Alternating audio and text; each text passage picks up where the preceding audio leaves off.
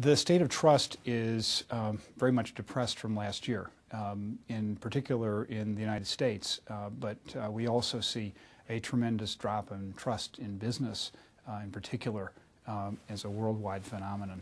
Uh, and I think that the events of the last 12 months, um, the eventual demise of investment banks, the uh, real problems um, in, in food supply in China, um, in India with the scandal, the Ponzi scheme with Mr. Madoff in the United States. So we've had several events that have caused people to, to lose trust.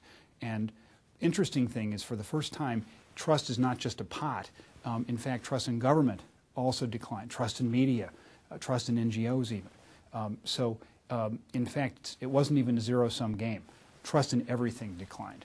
Um, so people are just generally skeptical and nervous. I think the regaining of trust is going to be a long, steady climb back up the hill.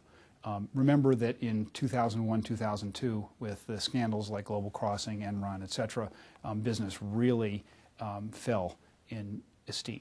Uh, I think that the gradual six-year climb has all been lost in one year.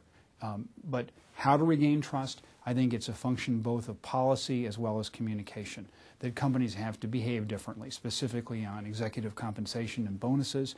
Um, also, I think that uh, they have to take seriously uh, the idea of being private sector diplomats. In other words, working collectively with civil society and government to come up with solutions as opposed to having sort of silos and fighting. People aren't interested. They're interested in solutions. Um, I also believe that as communicators, um, we have to behave differently, which is to say, not just relying on the chief executive as the sole voice. We have to empower employees and uh, also uh, active uh, supporters of brands with information about the companies so that they can speak authoritatively as well. Because it takes up to five times for someone to achieve belief. Um, you have to have an exposure to a message three to five times now, given the current level of skepticism. There is mass communication um, I think that that's still, mainstream media is still the fundamental part of a public relations process.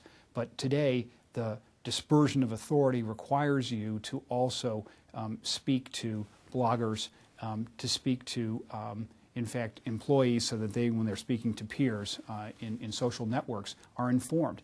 The new mantra is inform the conversation. You cannot control the message um, as much as you can feed good content, substantive um, material to those publics.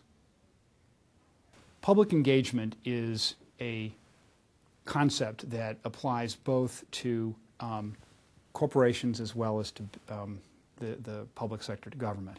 And in this, um, a institution is prepared to take on serious change, to behave differently, but also to communicate differently. Um, it requires a democratization and decentralization. It requires a commitment to informing the conversation, not just controlling the message. It means that you play both on the so-called authority axis, where you can actually speak to um, your target audiences, but you also have to share information so that they can speak among themselves in a horizontal fashion, in a peer-to-peer -peer way. Because a person like yourself or a fellow employee, colleagues, uh, are a critical part of the conversation. So, in fact, it's talking to the new influencers as well as the establishment. It's talking to the classic experts who are teachers, uh, professors, doctors, but also talking to the blogger who may have diabetes and has an audience of 10,000 um, in a month, um, but is also feeding then into the mainstream media.